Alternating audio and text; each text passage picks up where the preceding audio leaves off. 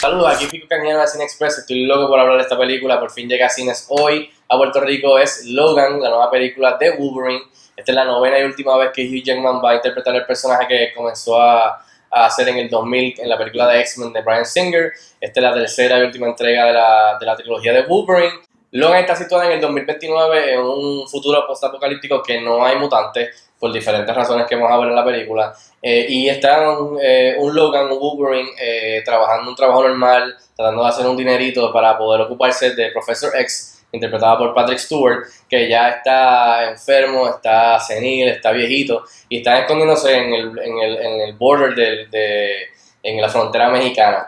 ¿Qué pasa? Cuando por fin se topa con esta mutante joven, que es X-23, que la niña, pues eh, tiene que decidir si seguir corriendo de su pasado y legado como un X-Men o si debe de pues, ayudarla y liderar el camino. Bueno, para los que tenían sus dudas, Logan está espectacular. Es una de las mejores películas para abrir el 2017.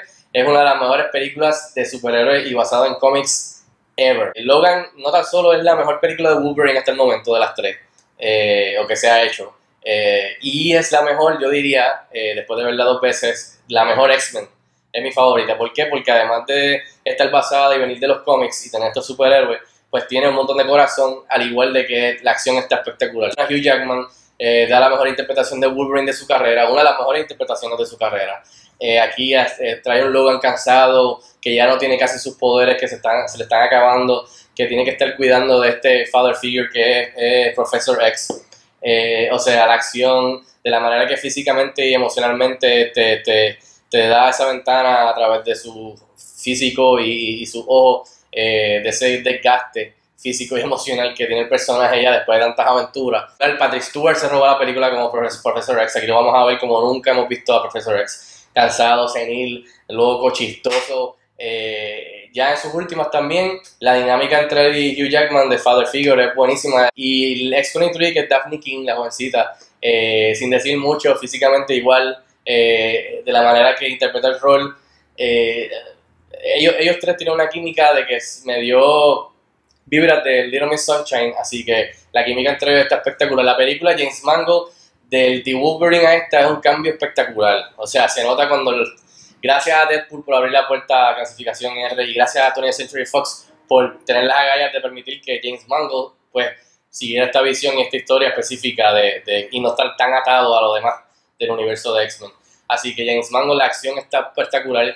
Y en la violencia, esta película no es para niños, es para adultos. La violencia sirve la historia, no está ahí por, por, por ser gratuita, por, por shock la, por oh, sino la sangre y la violencia eh, eh, sirve la historia y siempre había sido necesaria para este personaje que es salvaje. Pues por fin, en esta ocasión, logra el, director poder hacer esto y la violencia sirve la historia, que eso es lo más importante, que no es por lucirse, porque mira, aquí está R, aquí sangre y violencia, para atraer a los fans o para, o sea, para simplemente sorprender. Entre las cosas malas, pues mira, no, no mucho, eh, no, no, no, les voy a mentir, el, final está espectacular y el final está perfecto en cuestión de finales, pero en cuestión del clímax y la acción, me hubiese gustado ver a Wolverine irse mano a mano una última vez en una pelea épica de combate, batalla contra un enemigo que, que, que, que fuera algo más eh, emocional y más, o sea, más personal para Wolverine.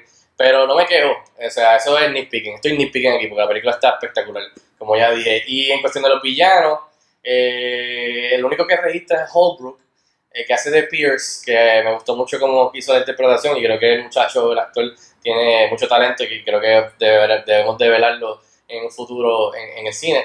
Pero en cuestión de los villanos, hay uno que, que creo que hace de Dr. Rice. Eh, básicamente está ahí por exposición, no cada vez que aparece para eso los Rivers un poquito decepcionantes, nada más sirven ahí de, picadillo para nuestros héroes. Este, así que esas serían las únicas cositas, o sea, eh, los villanos que usualmente es lo único que no registra en cuestión de superhéroes y de cómics, pero eh, por lo demás, buenísimo. En fin, Logan, como les dije, es la mejor película de Wolverine hasta el momento, es la mejor película de X-Men hasta el momento, eh, por lo menos ese es mi, ese es mi, mi entender y la acción está espectacular, la violencia sirve la historia, James Mangold la dirección está buenísima, eh, Daphne King como X-23, Patrick Stewart, Hugh Jackman, eh, la mejor interpretación de Wolverine de su carrera y de las mejores interpretaciones de su carrera, la música, o sea, todo esto te va, esto es una película western de persecución, es un drama, es un road trip a los Little Miss Sunshine y el final es, precioso. Este, qué mejor manera para el personaje de Hugh Jackman y de Wolverine eh, terminar su larga racha en la pantalla grande. Se la recomiendo, vayan a verla y hasta la próxima. Nos vemos en el cine.